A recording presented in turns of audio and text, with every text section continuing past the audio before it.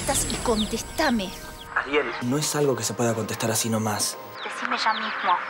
Si el delirio de que Kika viene del futuro es verdad. Si ella es Zoe. Porque agarro a mi beba y me la llevo de acá. Sí, es verdad. Kika vino del futuro. Esa beba que está en ese pueblo es ella. Ahora, por lo que más quieras, no te la podés llevar, ¿me entendés? No lo puedo creer. Sol, ya te dije que no te preocupes. Es lógico que el cuerpo de Sebastián... ¿Camilo? ¿Quién habla? Simón, ¿qué, qué le pasa a Torito? Ah, ahí te veo, ahí te veo. Ah, acá estoy.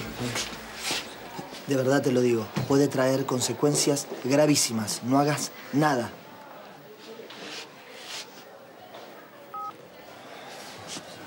Por Dios, una tras otra. ¿Qué pasó ahora? ¿Cómo, cómo que pasó? Dijiste algo de, de Torito. Eh, Hablaste conmigo recién. Yo te llamé del celular de Sol. Por eso por ahí no...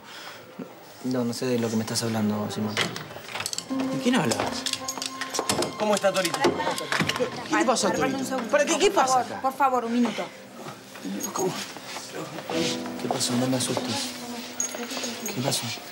Torito tiene una alteración en el hipotálamo. Fue un cruce.